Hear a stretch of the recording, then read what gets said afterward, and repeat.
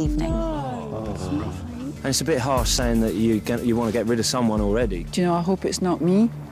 I'm really, really enjoying this experience. The celebrities have one vote each. Gavin is safe. Everyone else is vulnerable. We might not like to have to make the decision, but we have to. We have to put someone's name down, whatever. If I did get nominated, uh, you know, you just have you just have to take it. You know, we're playing a game. It's an extreme game, but it's a game nevertheless. At the moment, I don't want to go, no. But it's hard to tell, like, you know, it's only been, well, like, one, one sort of challenge in. I mean, look how cold it is. We are living in these conditions. I hate to say it, but I'm worried that the girls probably are a bit weaker than the guys. Connie, I think she's quite weak, and Michelle. She got hypothermia on the first day. She's a mother of three children. She's in her 30s. She's the oldest of the ladies. It's, you know, it's a hard physical experience.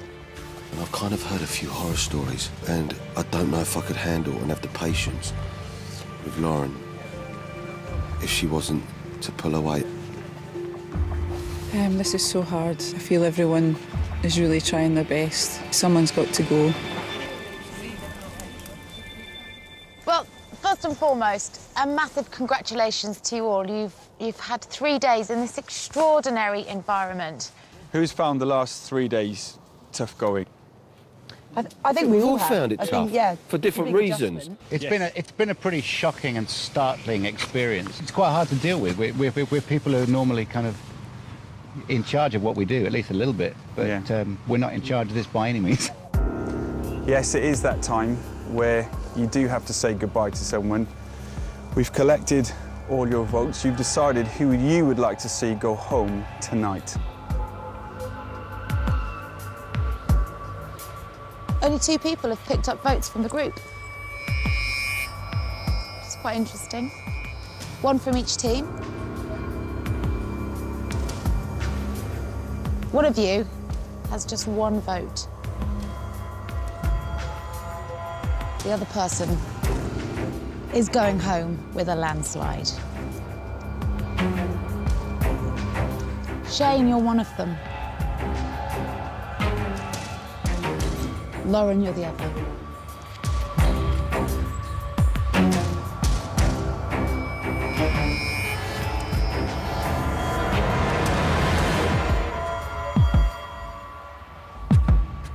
Lauren, it's time for you to collect your belongings and head home.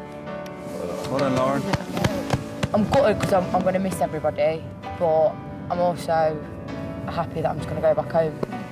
I've become really close with Lauren over the last few days. She is my best friend here.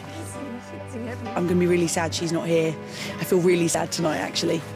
It is tough and it is hard, but if you've got that right attitude and if you know what you're going to be getting yourself into and, and have got that head about you, then you sound you'll get through it. But I haven't.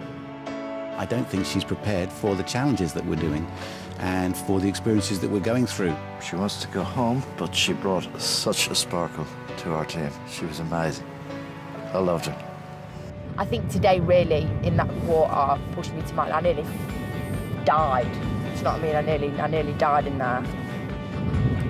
It was horrible, but I did it. She's going to be in her bed this weekend. And how many of us are going who's to be the fool? Yeah. For the nine remaining celebrities, it's back to camp and the prospect of another freezing night under canvas.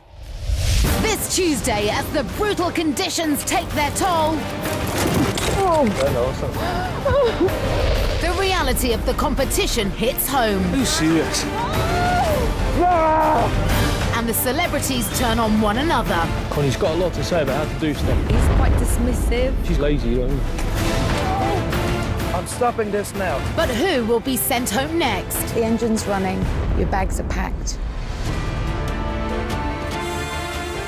Well, Michelle faces her darkest fears and one